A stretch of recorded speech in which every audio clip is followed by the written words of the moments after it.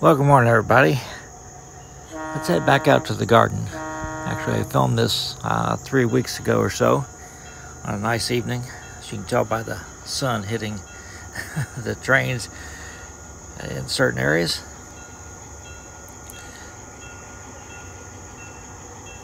I'd go ahead and post it and get back to the N scale next weekend. We got the GP9 leaving the Hagans yard. Gonna go switch Truitt lumber and Bartram pulpwood.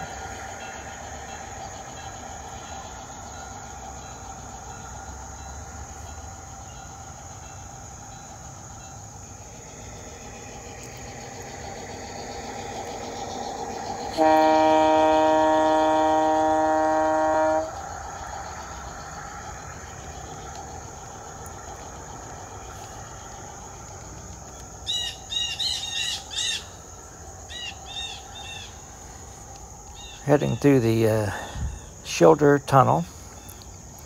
This is all fictional.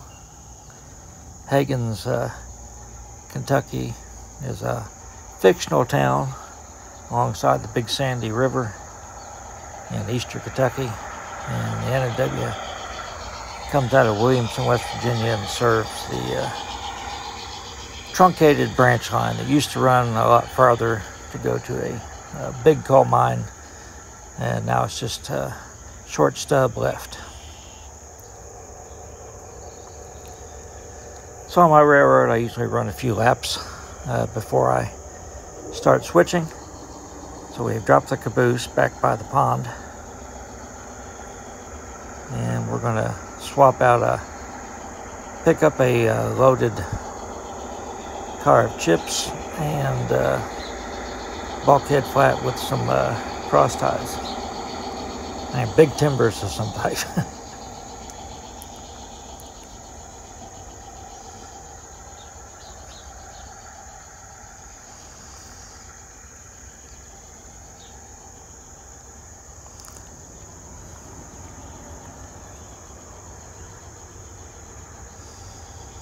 You see the sun hitting the lumber mill kind of low there. Some of my buildings are starting to show some wear from, because uh, they live outside year round. Some of the paint's starting to come off. So I think next year, when I retire, would be a good time to, I can have more time to focus on rebuilding some of it.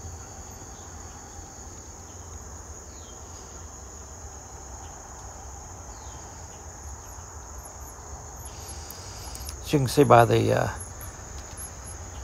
abandoned track there in the middle. The yard around Truitt used to be a little bit bigger. In my uh, fictional scheme, it used to be a big uh, bandsaw mill. And, uh, was they had their own logging railroad. Um, of course, that was years ago. So now they have a modern mill. Uh, the logs are a lot smaller, and they're just served uh, you know, once or twice a week by the local.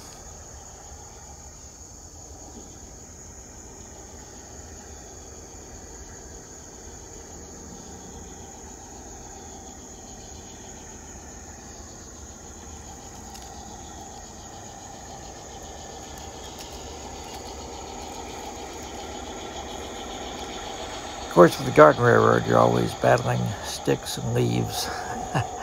uh, weeds coming up through the roadbed, things like that.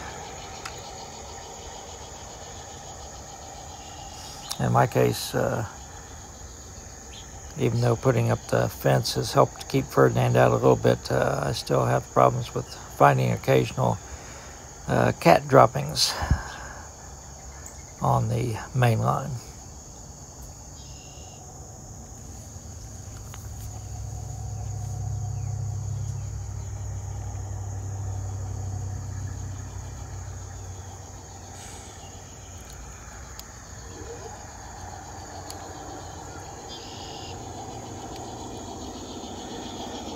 Reattach the empty gondola, which is going to Bartram Pulpwood, the train. And then we're going to go back and get the caboose so we can uh, attach it to the end of the train and head back the other way.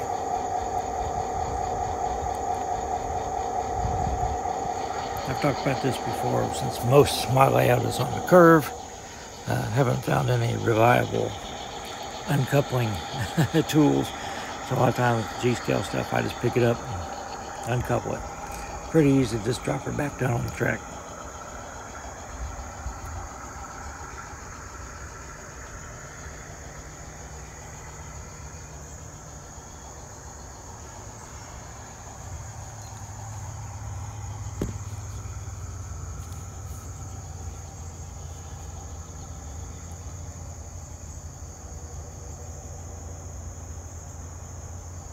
And on the of my.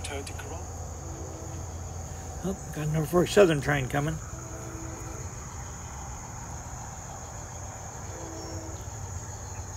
Southbound.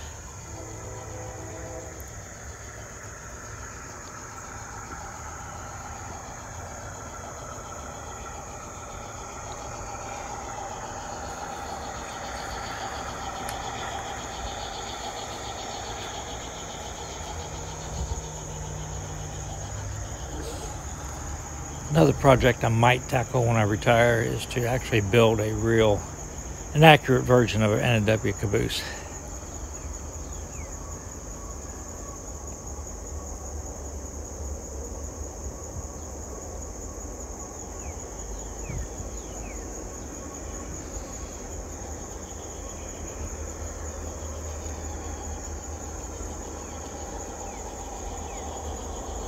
They did have a few versions of this caboose, what they call the Northeast caboose. I think they got them from the Pittsburgh and West Virginia.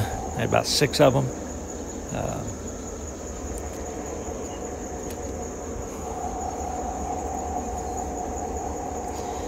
this was an undecorated model that I found and uh, had the N&W decals made.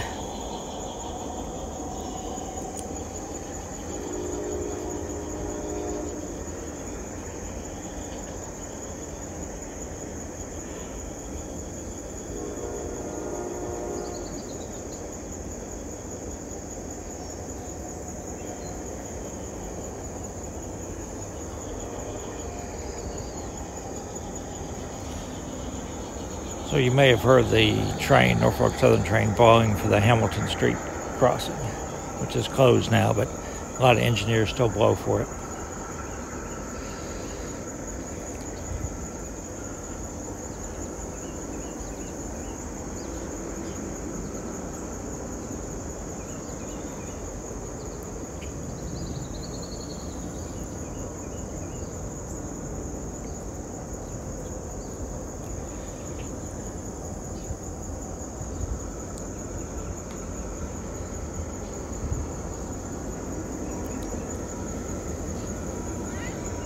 Heard the eh, DPU going by. You probably can't hear it the sound of the GP9.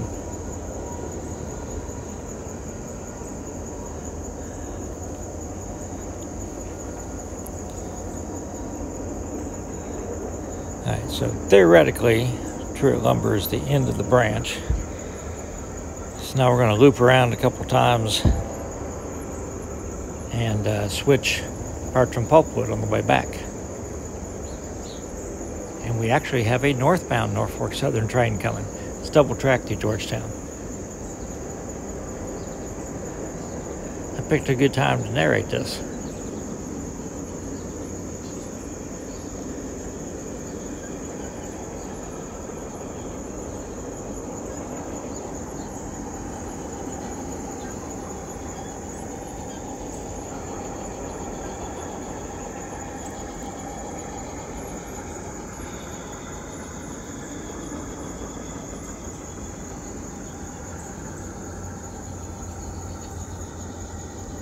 I attach the camera to the fence I get a wide angle view. So the southbound train is gone. And you may hear the northbound train if he blows for the farm crossing here in a second. So I've disconnected from the train. We're going to back in and pull up the loaded car of pulpwood.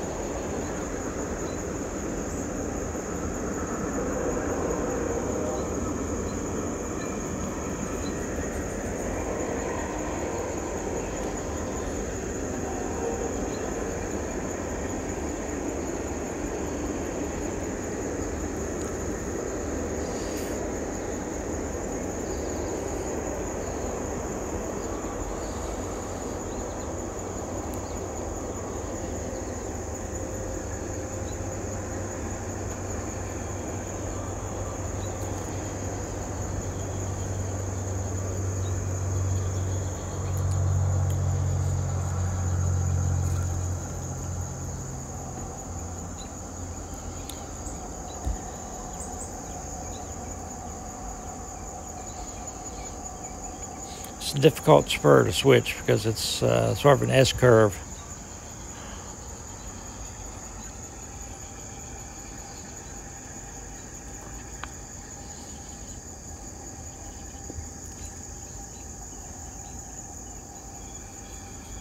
I may, in a couple of years, keep uh, threatening to do this, sell all my modern or relatively modern equipment and just go back to being a steam logging layout in the garden. Since I can run diesels inside on my N scale. Well, I sure love that GP9. I don't know if I can part with it.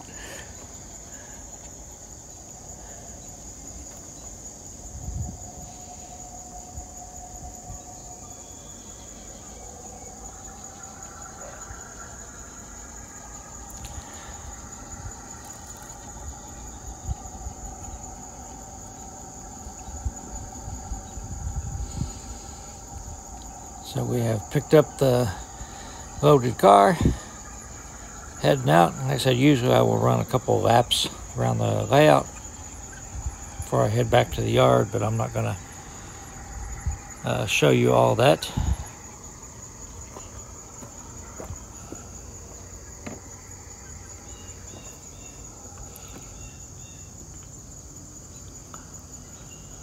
So you can see the uh, coal hoppers that we picked up earlier. So in theory, tonight a uh, local from Williamson will come to pick up the hoppers and the other cars and drop off empties. So the local crew using the GP9 caboose, they stay here in the Hagans yard and they can uh, go do their business again tomorrow. So I hope everybody enjoyed this and have a great weekend. And of course, as always, everybody stay safe.